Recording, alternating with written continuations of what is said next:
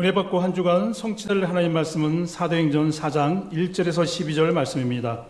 사도들이 백성에게 말할 때 제사장들과 성전 맡은 자와 사도개인들이 이르러 예수 안에 죽은 자의 부활이 있다고 백성을 가르치고 전함을 싫어하여 그들을 잡음에 날이 이미 저물었으므로 이튿날까지 가두었으나 말씀을 듣는 사람 중에 믿는 자가 많으니 남자의 수가 약 5천이나 되었더라 이튿날 관리들과 장로들과 서기관들이 예루살렘에 모였는데 대제사장 안나스와 가야바와 요한과 알렉산더와 및 대세상의 문중이 다 참여하여 사도들을 가운데 세우고 묻되 너희가 무슨 권세와 누구의 이름으로 이 일을 행하였느냐? 이에 베드로가 성령이 충만하여 이르되 백성의 관리들과 장로들아 만일 병자에게 행한 착한 일에 대하여 이 사람이 어떻게 구원을 받았냐고 오늘 우리에게 질문한다면 너희와 모든 이스라엘 백성들은 알라 너희가 십자가에 못 박고 하나님이 죽은 자 가운데서 살리신 나사렛 예수 그리스도의 이름으로 이 사람이 건강하게 되어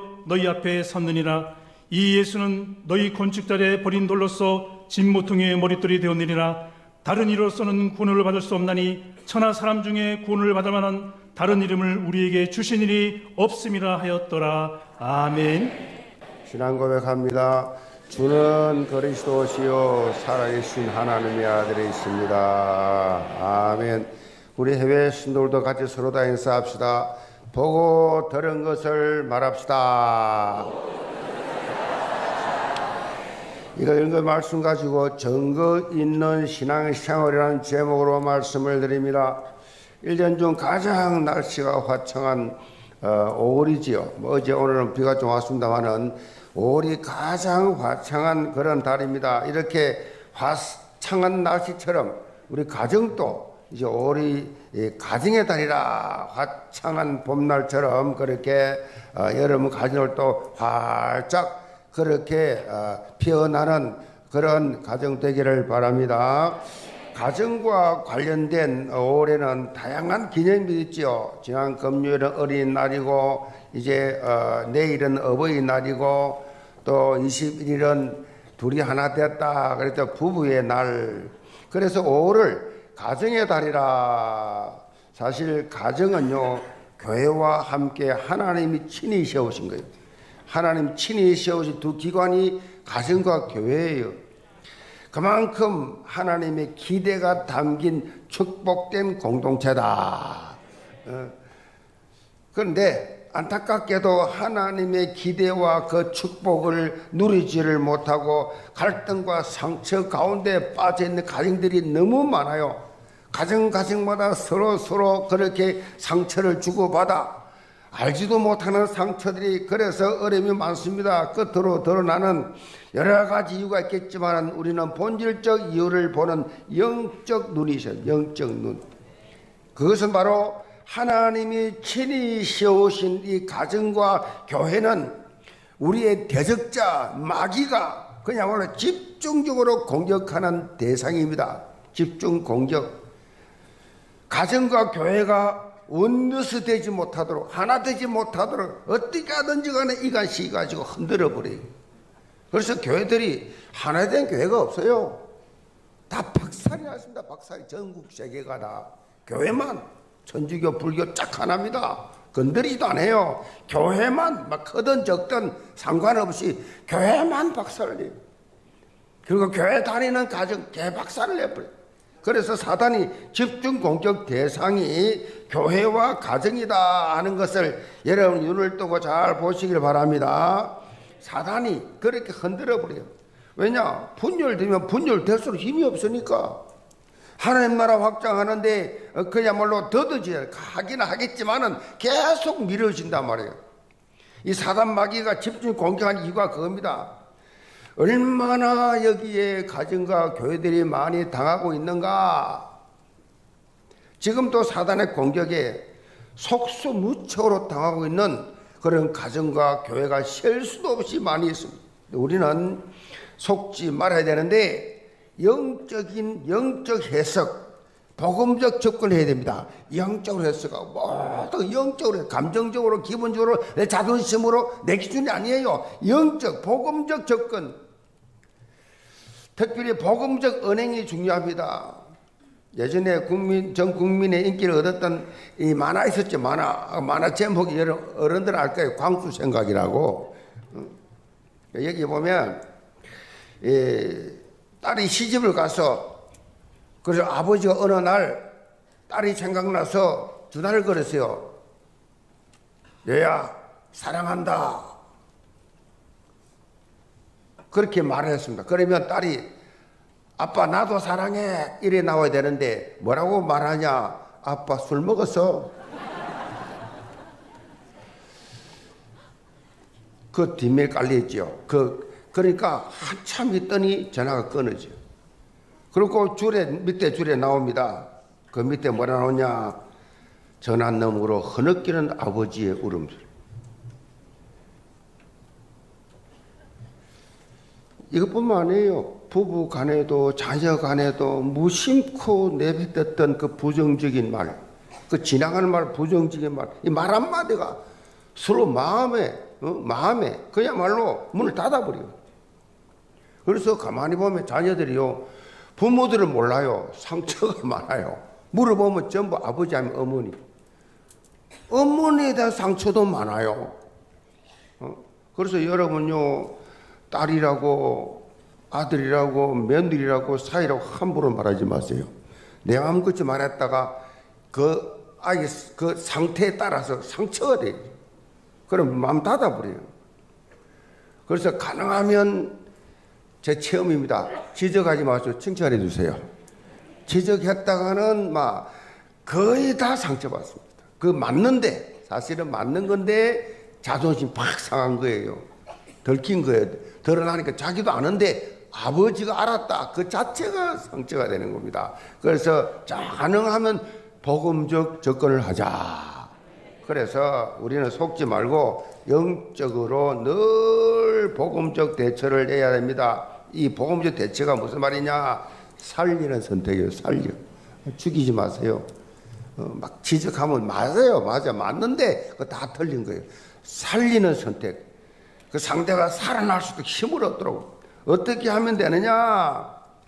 어떻게 하면 되느냐? 하나님 말씀대로 하면 돼요. 말씀대로 복음주의 신학자 유명한 존 파이퍼 유명한 신학자입니다. 이런 말씀을 하셨어요. 인생에서 가장 쉬운 것이 무엇인가? 하나님이 하라는 대로 하는 것이다. 그랬어요. 인생에서 가장 좋은 것이 무엇이냐? 하나님이 하라는 대로 하는 것이다. 인생에서 가장 복된 것이 무엇이냐? 하나님이 하라는 대로 하는 것이다. 하나님이 하라는 대로 하면 다시 말해요. 하나님의 말씀대로 하면 다 된다는 것입니다. 말씀대로. 그런데 실제로 이렇게 하나님 말씀대로 하는 것이 쉽지 않습니다.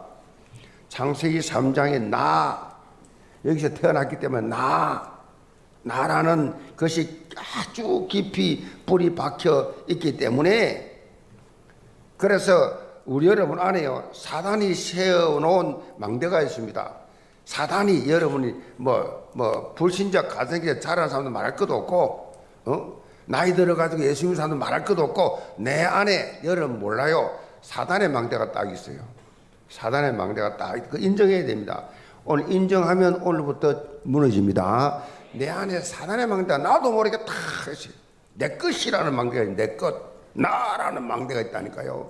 사단의 망대가 딴거 아니에요. 너, 너, 너, 너가 최고야. 너가 하나님 될 수 있어. 너, 나라는 이 망대. 내 성공과 인기라는 망대를 먼저 무너뜨려야 됩니다. 그래서 예배가 중요합니다. 그래서 말씀 묵상의 시간이 중요합니다. 말씀이 뭐요? 나 것이 내 것, 개인화, 내 것이 돼야 됩니다. 말씀 다 듣는 말씀이지만 내 말은 내 것이 돼, 내 것이. 이 시간이 묵상 시간이에요. 내 안에 먼저 그야말로 하나님 망대, 다시 말하면 말씀의 망대가 세워져야 돼요, 말씀 망대. 말씀 망대가 세워지면 사단의 망대, 나라는 사단의 망대는 무너진단 말이에요. 그래서 생명 살리는 원리스의 축복을 체험하게 되는데 영계 전 성도는 가정의 달을 맞이해서 하나님의 말씀이 내 삶을 이끄는 영적 흐름을 타야 됩니다. 그래서 현장의 흐름을 어, 흐름을 그냥 현장 다 뒤져버리는 현장의 사단의 망대를 뒤져버리는 재창조 주역들 다 되시기를 제으로 축복합니다. 자, 우리가 매주일 사도행전을 살펴보고 있는데 지난 시간 창세기 3장을 통해서 우리에게 주신 영적 권세를 사실적으로 사용하는 신앙생활, 내게 주신 권세를 사용하는 신앙생활, 거의 다 사용 안 해요. 세상 교회만 떠나면 자기 감정, 자기 기준, 자기 생각, 자기 경험으로 살지 말씀에 의지해서 어? 말씀에 전혀 상관없습니다. 평생을 교회를 수십 년 다녀도 참 희한하지요. 하나님이 내게 권세 주셨는데 영적 권세를 주셨는데 어, 이 세상 이기고 정복하도록 영적 권세를 주셨는데 이걸 사용하는 것을 성경적 신앙생활이라고 그래요. 사용하셔야 돼요. 내 감정으로 사용하지 말고 영적 권세를 사용해야 돼요. 성전에 정식 기도를 가던 베드로와 요한이 남에서 안전병이 된 사람을 그냥 뭐 준비했습니까? 아니면 들어가는데 뭐 동양을 하니까 뭐 좀 달라 하니까 그냥 내, 내, 내가 내게 줄 거, 내게 있는 건 네 준다. 예수 그리스도 이름으로 일어나라. 이 놀라운 기적 그냥 일어난 거예요. 무릇 40년 동안 날 때부터 안전병이 뭐 이를 걸어본 적 있습니까? 물리치료 받았습니까? 아니에요. 날 때부터 안전병인데 나사렛 예수 일어나라 일어나가 걸었고 뛰은 거예요. 우리 찬양대원 찬양처럼 어? 그러고 뛰은 거예요. 아니, 물리치료, 아, 40년 앉아있었어요. 뭐 좀, 뭐 준비해야 거 아니에요. 하나님 능력은 이렇게 완벽한 줄 믿으시 바랍니다. 그냥 걷고 뛰어버렸어. 자, 이 안전병이 예루살렘에 사는 사람은 누구나 다, 뭐 예루살렘은 조금은 하잖아요. 그 누구나 다 아는 사람이에요. 언제나 성전 미문에 앉아 구울하던 안전병이 다 아는 사람이에요. 사람이 충격받았어. 자, 이때 나은 사람이 베드로와 요한을 붙잡았습니다. 사람들은요, 이 베드로 행각으로 몰려, 이 그냥 몰려 막 솔로몬 행각 몰려오는데 그때 베드로가 모인 사람들을 대상으로 이 오순절 설교에 이어서 두 번째 설교입니다. 솔로몬 행각 설교라. 그래서 거기서 설교를 합니다. 베드로가 선포한 메시지 핵심이 뭐냐? 간단합니다. 예수가 그리스도라는 거예요. 예수가 그리스도를 어느 정도 모르느냐? 교회 30년, 40년이라도 예수가 그리스도 몰라요. 어느 정도 모르느냐? 그리스도 대학 내가 이 책임자를 만났어. 그 옛날에 오래전에 만난 그리스도 대학이요. 이름이 그리스도 대학이라니까. 그리스도가 뭔 뜻입니까? 모른대. 그리스도 대학을 다녀서 그리스도 그리스도 대학이란 말은 뭔가 자기들 나름대로 뭔가 신념이 있고 뭔가 이렇게 어, 사상이 있어서 그 많은 이름 중에 그리스도 대학 깜짝 놀랐다. 그리스도 이야 이분들 그리스도 제대로 누리겠구나. 물으면 그리스도 몰라요. 그 정도예요. 그러니 그 당시에 종교인들이 처음 들어보는 겁니다. 예수가 그리스도다. 너희들이 십자에 못 박아 죽였던 그 예수를 하나님께서 살리셨고 자신들이 이 일의 증인이다. 너희가 회개하여 돌이켜 돌이켜 오면 새롭게 새로운 날이 그렇게 이를 것이다. 회개해라 지금 당장. 그럼 너희들도 구원받아 우리처럼 될 것이다.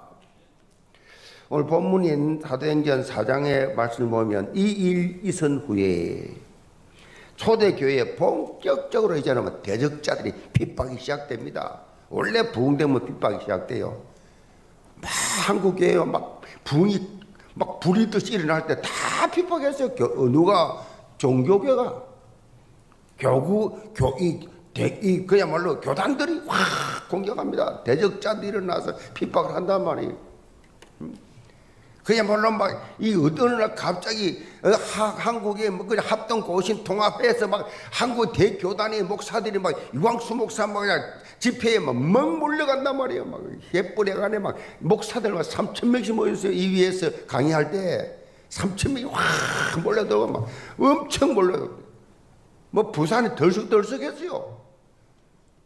그러니까 어떻게 해요? 집중 공격, 집중 공격. 목적이 뭔지 아십니까? 이러다 우리 교당 목사들 다 뺏긴다. 대적자들의 핍박입니다. 자, 이 핍박에 성령 충만함을 입어서 담대히 예수가 그 되심을 증거하던 사도들이 감옥에 갇히게 됩니다. 영계 전 성도는 오늘 본문 말씀 통해서 초대 교회가 어떻게 문제와 이 사건, 이 핍박을 영적인 축복으로 바꾸어서 증거 있는 신앙인의 삶을 살았는지 발견하는 귀한 시간 되기를 주임으로 축복합니다. 그럼 첫째로 구원을 받을 수 있는 유일한 이름입니다. 1, 2절 봅니다. 사도들이 백성에게 말할 때에 제사장들과 성전 맡은 자들과 사두개인들이 이르러 예수 안에 죽은 자의 부활이 있다고 백성을 가르치고 전함을 싫어하여 안전뱅이가 치유된 사건과 이 베드로의 이 솔로몬 행각 설교를 좋지 않는 시선으로 바라보고 있는 무리가 있었는데 당시 유대교 지도자들이었습니다. 제사장들과 성전 맡은 자들과 사두개인들 당시 대제사장은 안나스와 가야바였어요. 원래 안나스가 대제사장이었는데 로마 제국으로부터 퇴진 압력을 받으니까 자신의 사위인 이 가야바에게 대제사장직을 맡기고 형식적으로 맡기는데 실제는 뒤에서 다 이 안나스가 다 조정하고 있었어요. 본문의 성전 맡은 자는 성전의 경비대장입니다. 이 대장인데 이 사람은 대제사장이어서 유대교 서열 2위의 높은 지위였어요. 그리고 사두개인들은 유대의 한 종파였는데 당시 정치, 경제 모든 실권을 장하고 있는 가장 높은 귀족 지배층이었어요. 이 사두개파가. 사실 당시의 제사장들이나 경비대장도 다 사두개파 출신이요. 그러니까 이들은 사두개파는 모세 오경만 인정하고 내세, 부활, 영적 세계, 천사들의 존재 이를 전혀 그렇게 어, 인정하지 않는 지극히 현실적인 사람입니다. 이 현세적인 사람. 그래서 로마 제국과 긴밀한 관계를 유지하면서 자신들이 장악한 부와 권력, 이 기득권을 지키기 위해서 수단과 방법을 가리지 않았어요. 이들은 예수님을 십자가에 못 박게 한 들은 장본인들이었어요. 유대인들을 선동해서 예수님을 십자가에 못 박아 죽이도록 빌라도 총독의 압력을 가해서 죽이도록 만든 앞장섰던 사람들이 이 사도계파 사람들. 부활을 안 믿으니까. 그런데 자신들이 십자가에 못 박은 이 예수가 다시 살아났다. 이 사실에 이게 청청병력 같은 말이에요, 지금. 이래저래 근거히 죽여놨는데 살아났다. 더군다나 부활하신 그 예수 이름으로 안진뱅이가 일어났다. 이게 지금 예루살렘 전체 난리 난 겁니다. 기적이 일어나버린 것입니다. 그러니까 이, 들이 도저히 가만히 있을 수가 없는 겁니다. 본문 2절에 베드로와 요한이 예수 안에 죽은 자의 부활이 있다고 백성들 가르치고 전하는 것을 싫어했다라고 표현하고 있는데 이 원뜻은요 이성을 잃을 정도로 화가 나서 어찌할 줄을 몰랐다 그런 상태를 말했습니다. 교리적인 뿐만 아니라 자칫 잘못하면 자신들이 지금까지 지켜왔던 이 엄청난 모든 기득권을 다 잃게 되었기 때문에 이 메시지하고 있던 사도들을 잡아다가 체포해서 감옥에 집어넣은 겁니다. 자기들이 권력으로 아무 죄도 없는 사람을 자, 3, 4절 봅니다. 그들을 잡음에 날이 이미 저물었으므로 이튿날까지 가두었으나 말씀을 들은 사람 중에 믿는 자가 많으니 남자의 수가 약 5천이나 되었더라. 자, 이들은 어떻게 하시든지 백성들의 관심을 예수님에게서 멀리하게 하려고 잊어버리게 하려고 수단과 방법을 가리지 않아서 그러나 이런 그들의 노력은 수포로 돌아갑니다. 사도들은 감옥에 집어넣은 이 핍박이 본격적으로 시작됐지만은 베드로의 메시지를 들은 사람들은 그야말로 남자만 5천이 막 돌아온 5천 명, 남자만 5천 명. 자, 120명으로 시작된 마가다락방의 이 역사가 하루 만에 그냥 그날 당장 3천 명이 돌아오고 안전병이 일어난 기적을 보고 나서 이 5천 명 남자가 돌아왔는데 여자와 아이들을 포함하면 몇만 명, 그 당시 숫자가 얼마 되자 지금 천만도 안 됩니다. 이스라엘 통틀어 봐야 800만인데 그 당시에 그 뭐냐말로 몇만 명이 다 거의 다가 흔들흔들하는 겁니다 지금 예루살렘 전체가 수만 수만 명이 막 영향을 받은 거야. 이 다급할 대로 다급해진 이 사람들이 한 자리에 모여가지고 어떻게 하겠냐 이게 지금 대제사장 이 베드로와 요한을 신문합니다. 7절입니다. 사도들을 가운데 세우고 묻되 너희가 무슨 권세와 누구의 이름으로 이 일을 행하였느냐 신문합니다. 자, 이들은 관심이 뭐냐? 정말 이게 하나님 역사냐? 그 관심 없어요. 적어도 그 정도는 신앙 양심이 1%라도 있으면 이게 정말 하나님 역사냐? 봐야 되는데 전혀 없어요. 이들의 질문 의도가 뭡니까? 이들은요, 목적이 뭐냐? 로마에 반역하여 일어나는 정치적 운동으로 몰아간 거예요. 그래야 이것도 집어넣을 수 있으니까. 이거는 정치적으로 로마에 압제당한다. 로마 정부를 대항하는 거다라고 그렇게 로마 정부의 앞제비 노릇하는 몰아가지고 이걸 죽여야 된다. 자, 이때 베드로가 성령 충만해서 담대하게 또 지혜롭게 대답하죠. 8절입니다. 이에 베드로가 성령이 충만하여 이르되 백성의 관리들과 장로들아 만일 병자에게 행한 착한 일에 대하여 이 사람이 어떻게 구원을 받느냐고 오늘 우리에게 질문한다면 너희와 모든 이스라엘 백성들은 알라. 너희가 십자가에 못 박고 하나님의 죽은 자들 가운데 살리신 나사렛 예수 그리스도의 이름으로 이 사람이 강건하게 되어 너희 앞에 섰느니라. 과거에 베드로의 모습이 아니죠. 사람 이렇게 바뀔 수가 있습니다. 과거에 그렇게 비겁하고 그런 겁쟁이였던 베드로가 지금 말이죠. 완전히 성령 충만해서 이 영적 체험하고 나니까 지금 생사를 결판하는 재판장이에요. 그냥 모임이 아니에요. 이 자리 사내들인 공이에요. 사내들인 공에는 예수님을 신성 모독죄로 사형시킨 자리예요. 이 죽을지도 모르는 그 현장에 서가지고 아주 당당하게 당시에 파격적인 그러한 복음을 전했습니다. 이 안전뱅이가 일어나 걷게 된 것은 바로 너희가 십자 못 박았지만 하나님께서 다시 살리신 예수 그리스도가 하신 것이다. 담대하게 담대하게 여러분 복음을 증거할 때에 보고 들었으면 담대하게 체험했으면 하시 바랍니다. 주저주저하고 상대 반응 보고 눈치 보고 하지 마세요. 듣거나 말거나 무슨 이상 선 상관없어. 그냥 선포하는 것이 선지자의 사명이요. 아멘. 그러니까 담대하게 하잖아요. 담대하게. 이 베드로는요, 성령이 주신 지혜로 대자상이 노린 질문의 의도에 넘어가지 않고 정확하게 뭐만 했어요? 복음의 핵심만 말했어요. 응? 어디 전도하러 가서 말리지 마세요. 정치적인 거, 뭐 이런 뭐 여당이어도 야당이 어떻고 뭐 이런 세상적인데 말리면 안 돼요. 그냥 여러분 가지 복음만 말하면 돼, 복음만. 11절 보세요. 이 예수는 너희 건축자들이 버린 돌로서 집 모퉁이에 머릿돌이 되었느니라. 베드로는 유대인들이 잘 알고 있는 10편 118편 22절의 말씀 인용하고 있습니다 여기 지금. 성령께서 지혜를 주신 건데 건축자들에게는 쓸데없다고 버림받은 돌처럼 예수를 너희가 멸시하고 죽였으나 하나님께서 다시 살리고 집 모퉁이에 머릿돌처럼 구원의 기초가 되게 하셨다.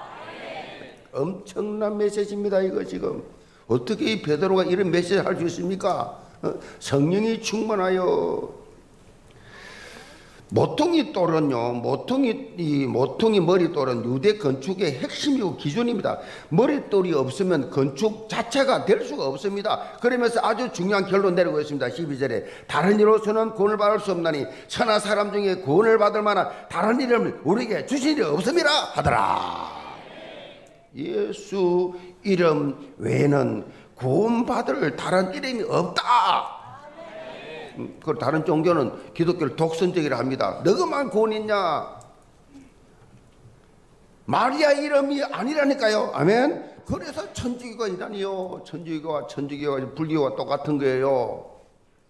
제사 지내고 다 합니다. 똑같은 거예요. 이름만 걸쳐놓고 완전히 사단 그야말로 이 완전히 암땅도로 다는 게 천주교라고 천주교 불교 마음에 없어요. 다른 이름이 없다니까 예수로만 구원이 있다니까요. 하나님 말씀이에요. 다른 어떤 이론도 통하지 않습니다. 절대 진리이기 때문에 절대 진리이기 때문에 여러분 일제 시대에 말이요 북한이 남한을 침략했잖아요. 침략했을 때 일제 시대 때나 남침했을 때나 왜 나만에만 오면 예수 믿으면 잡아 죽입니까?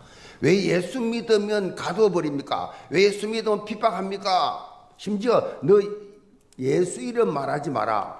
그럼 내 지금 당장 석방시켜 줄게. 예수 안 믿는다고 말 한마디만 해라. 아니 예수가 무슨 정치인입니까? 무슨 뭐 어디 무슨 어, 반정부하는 운동하는 이름입니까? 전혀 아니잖아요. 전혀 이 세상의 사, 이름 이름이 아니잖아요. 근데 이상하게 사람들 오면 예수 예수 이름만 믿으면 그냥 잡아 죽이고 가둔다고. 지금 북한 그대로 하고 있어요. 지금 전 세계 그래 하고 있어요. 저, 저 중동에 다 그래요. 예수 이름 말하면 안 돼. 왜 그런 줄 아세요? 예수 이름만 구원이기 때문에 사단의 고도의 전략입니다. 예수 이름만 말하지 말라고. 응? 예수 이름, 예수만 아멘다 하면 내가 살려줄게. 석방시켜줄게. 이건 영적으로요, 유일한 구원의 길이기 때문에 사단이 끝까지 물고 내린 것입니다. 그래서 예수 그리스도의 유일성을 훼손시키기 위해서 사단은 별짓을 다 합니다. 별짓을 다 해. 그러나 우리의 믿음의 선조들은 그 예수 이름을 부인하지 않고 핍박당하고 심지어 순교당했어요. 순교. 우리 우리 기독교 우리나라 기독교 역사 피해 역사의 피해 전부 순교당했어요. 요즘 예수 믿는 건 이거는 뭐 그냥 뭐라 그래야 되나 이거 뭐 완전히 그냥 막 만포장으로 그냥 누리는 거지요. 응? 딱 있다고 하면 다락방 핍박밖에 없어요 지구촌에 아시겠어요? 예수 잘 믿으면 하나님이 이중 삼중 축복한다 이 시대에 우린 잘 태어난 거요. 일제 시대 태어난 뭐죠 뿐이었어요.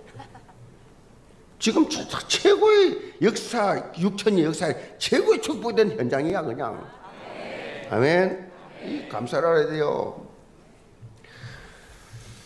어, 영적인 진리에 대해서는요. 우리는 이런 삶을 살면서 한치의 양보도 하면 안 돼요. 영적인 부분, 육신적인 거는 뭐 별 차이가 있습니까? 다 비슷비슷하죠. 근데 영적으로는 양보하면 안 돼요. 음, 그것은요, 영원한 생명과 직결되기 때문에 그렇다. 지난주에 리브 예배에 콜롬비아 우리 안드레스 목사님 설교했습니다. 파란만장한 젊은 시절을 보냈지만은 감옥에서 뭐요? 예수 하나님을 만난 이후에 음, 그야말로 열정적으로 신앙생활을 했고 목회자의 길을 그렇게 들어섰습니다. 그런데 그 방향이 잘못됐잖아요. 방향이.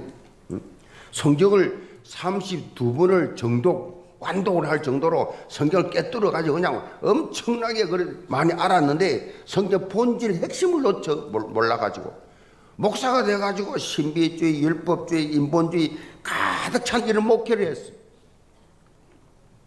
근데 우리 단체 선교사를 만나가지고 예수가 그리스도 되신다. 예수가 그리스도다. 이 복음을 듣게 됐어요. 그런데 이, 이, 이 선교사님을 이, 이, 분은 순회 선교사, 순회한, 순회하는데 이 안데르스 목사에게 만날, 만날 때마다 계속 만남이 집중적으로 훈련시키는데 만날 때마다 하나만 말해. 예수가 그리스도라고. 이러니까 안드레스가 왜 그리스도만 말한다고 화를 냈다잖아요. 왜 만날 때마다 똑같은 소리 예수가 그리스도 말만 하느냐?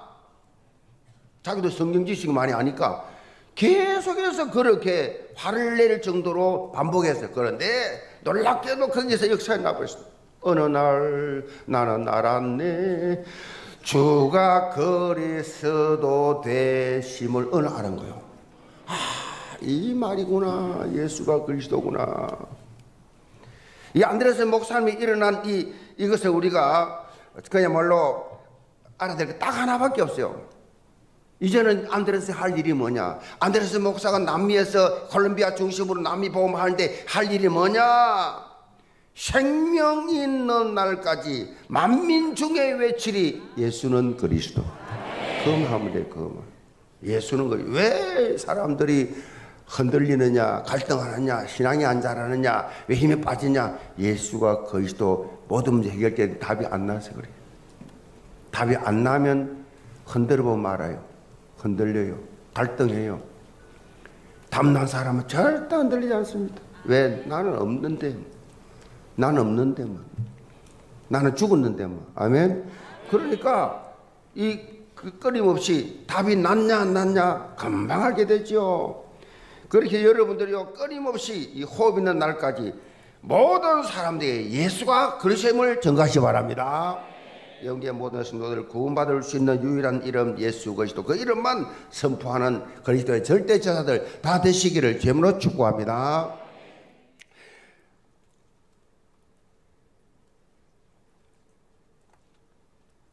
17절 18절 봅니다.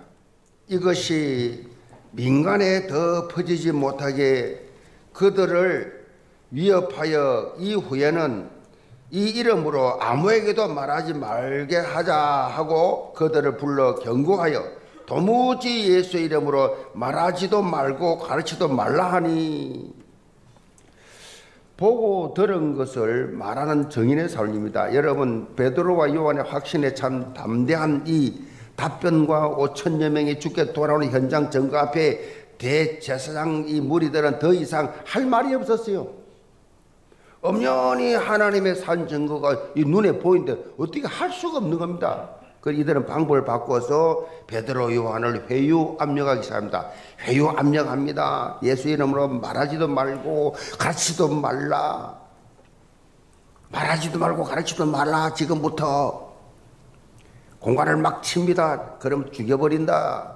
손바닥으로 하늘 가리는 이런 모습이죠. 이런 그들을 향해서 베드로 요한은 아주 맹쾌하게 확신에 찬 답을 하지요. 19절입니다. 베드로와 요한이 대답하여 이르되 하나님 앞에서 너의 말을 듣는 것이 하나님의 말씀 듣는 것보다 옳은가 판단하라. 우리는 보고 들은 것을 말하지 아니할 수 없다 하니 보고 들었고 처음 한 것을 어떻게 말을 못하겠냐 성령 충만했던 베드로와 요한은 담대하게 말했습니다 예수 이름으로 아무것도 말하지도 말고 가르치도 말라간 유대 종교 지도를 꼼짝 못하게 꼼짝 못하게 만드는 선언이었습니다 베드로와 요한은 우선적으로 하나님 앞에서 삶을 강조했습니다. 하나님 앞에서 너희 말 듣는 것이 옳으냐? 하나님 말씀 듣는 것이 옳은가? 너희들이 판단해봐. 코람데오 영적 자세죠. 이 코람데오란 말은 종교 개혁할 때 쓴 용어예요. 하나님 앞에서 영적 자세를 가지고 우선순위를 분명히 하는 삶을 살았다는 것입니다. 사도 바울도 갈라디아 1장 10절에 이렇게 강조합니다. 이제 내가 사람에게 좋게 하라 하나님께 좋게 하랴. 사람에게 기쁨을 구하랴 내가 기, 지금까지 사람의 사람들의 기쁨을 구하였다면 그리스도의 종이 아니니라. 이 사도 바울은 어떤 상황 속에서도 하나님께 좋게 하는 것이 모든 여기에 초점 맞춰서 하나님을 기쁘시게 해야지. 하나님께 영광을 돌려야지. 여기 모든 성도들 언제나 여러분 하나님 제일주의 되시 바랍니다. 하나님의 반응을 봐야지 사람 반응에 우선하면 안 돼요. 하나님이 나를 어떻게 보실까? 이게 중요하지. 사람이 나를 어떻게 볼까? 거의 다 여기에 빠져 있어요. 하나님이 나를 어떻게 보실까? 하나님 제일주의. 베드로와 요한은 무엇보다도 우리는 보고 들은 것을 말하지 아니할 수 없다라는 이 선언으로 유대 종교 지도자를 꼼짝 못하게 만들었습니다. 우리는 보고 들은 것을 말하지 않을 수 없다. 아무리 반복해도 너무나 가슴 벅찬 고백이죠. 다른 열정이 아니에요. 다른 것이 열정이 아니라고요. 바로 이것이 열정이 되어야 됩니다. 아멘. 이 보고 들은 것을 말하는 열정. 에레미야 20장 9절에 보면 에레미야가 이렇게 외칩니다. 내가 다시는 여호와를 선포하지 아니하며 그의 이름으로 말하지 아니라 하면 나의 마음이 부부든 것 같아서 골수에 사무치니 답답하여 견딜 수가 없나이다. 내가 복음을 증거해야 되는데 복음을 증거하지 못하게 하니 포로로 잡혀가지고 못하게 하니 내 가슴이 그냥 말로 막 답답하여 견딜 수가 없다. 아멘. 여러분 안 하는 게 편하잖아요. 그렇죠? 복음 안 전하는 게 편하지. 전하는 게 부담되잖아요. 얼마나 이 상태가 세상화되는가를 금방 알 수 있잖아요. 여러분 스스로 질문하면 알잖아요. 뭐 다른 사람 말할 필요가 뭐 있어요? 열정, 성령 충만한 사람, 그리스도 충만한 사람, 복음이 충만한 사람, 성령 인도받는 사람은요 가만 앉아 있지 않습니다. 절대 가만 앉지 않습니다. 조용히 있을 수가 없어요. 왜 증거가 있고 처음이 있는데 어떻게 말을 안 하겠어요? 그래서 바울이 바울 보고 말쟁이라 그랬어요. 와, 너 말이 많냐? 바울이 말쟁입니까? 쓸데없는 말하는 사람입니까? 전부 생명의 말씀을 체험을 말했기 때문에 말할 수밖에 없다니까요. 왜 말 못합니까? 왜 전도 못합니까? 왜 영적 포로 못합니까? 있어야지. 체험을 했어야지. 그러니까 할 말이 없는 거예요. 이런 말이 있습니다. 어리석은 사람은 죽을 때 허물을 남기지만 지혜로운 사람은 죽을 때 가치를 남긴다. 아멘 주여. 참다운 이 가치, 영원한 가치를 남기는 삶이 뭐냐? 여러분의 삶의 발걸음을 통해서 하나님의 나라가 확장되는 거예요. 하나님의 나라가 확장되는 거. 응? 하나님 나라가 확장되는 거. 저 아멘 아멘 하는 저 할머니 김학영 선교사님. 칠레에 가보니까요. 칠레가 이 길을 이름 잘 아시잖아요. 제일, 제일 긴 나라잖아. 이거 버스를 타고 말이요. 어? 그러니까 그냥 버스를 타고 그냥 어? 가다가 도시락 까무면서 어? 내가 선교회라 해가지고 그 자기가 가, 만드는 그 교단에 목사들이 복음 전한다고 가는 그 간증을 하더라고. 그냥 아멘한 소리가 아니에요. 선교사예요. 칠레에서 왔어요. 나이가 70 훨씬 넘었어요. 열정 봤습니까? 저 열정이 대단하잖아요. 여러분 아멘도 안 하잖아요. 아멘한 열정도 없잖아요. 가슴 속에서 북, 북박오르는 열정. 선교사 아무나 합니까? 밥 먹으러 갑니까? 거지 구라듯이 사는, 하는 것이 선교사입니까? 죽기 살기로 복음 위해서 생을 건 사람들이. 그러니까 우리하고 좀 다르죠, 여러분. 가치가 인생관이 다릅니다, 관이. 영원한 가치의 삶을 두고 우리는요 이 땅에 살면서 허물을 남기는 창세기 6장, 3장, 6장, 11장에 서러운 인생 살면 안 돼요. 오직 그리스도, 오직 하나님 나라, 오직 성령 충만. 그걸 통해서 하나님 나라를 확장해 나가는 3일조의 이 운동하는 일에 본론 인생 되기 바랍니다. 교회가 3일조 구성해서 일마성도 부흥식에서 이 지역민족 세계보험하자고 지금 237 나라 5천 종교 복음을 위해서 237 장로를 세우는 이런 영적 즉 현장에서 여러분 가슴 속에 주의 명령 따라 3일조 운동에 다 참여하시 기 바랍니다. 영계 전 성도는 우리 인생의 절대 가치인 예수 그리스도를 전하고 남기는 이 증거 있는 신앙생활 하시기를 제물로 축복합니다. 결론입니다. 영국에서 태어난 세계적인 신학자 설교자 있죠. 존 스토트 목사님. 뭐 우리 뭐 신학교 다닐 때 엄청나게 이분의 설교를 많이 그렇게 읽고 했는데 이분이 쓴 책이 있습니다. 전도하지 않는 죄라는 책이 있습니다. 그는 이 책을 통해서 전도에 있어서 가장 큰 방해물이 뭐냐? 다름 아닌 그리스도인이라 일컫는 사람의 침묵이다 그랬어요. 응? 침묵. 그러면서 그는 이렇게 강조했어요. 만일 복음 그 자체가 주장하는 대로 기쁜 소식이며 우리를 확신시키고 있는 것이라면 우리가 복음을 전가하지 않는 것은 죄를 범하는 것이다. 근데 안타깝게도 지금 영국 선교사를 음, 영국이 뭐요? 선교사를 파송한 나라잖아. 영국 선교사를 파송한 나라가 지금은 어떻게 됐냐? 선교사가 필요한 나라가 되어 버렸어. 그러니까 이 영국이 어떤 나라였냐? 현대 선교의 아버지라 불려 윌리엄 켈리. 그리고 중국 선교의 그냥 내륙 선교의 가장 오랫동안 아버지자 아버지 허드슨 테일러 중국 선교 아버지예요.